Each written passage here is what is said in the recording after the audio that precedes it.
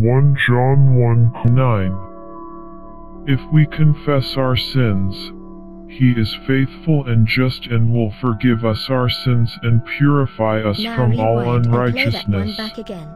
Play that back. Artist Daniel, Q, U, I, and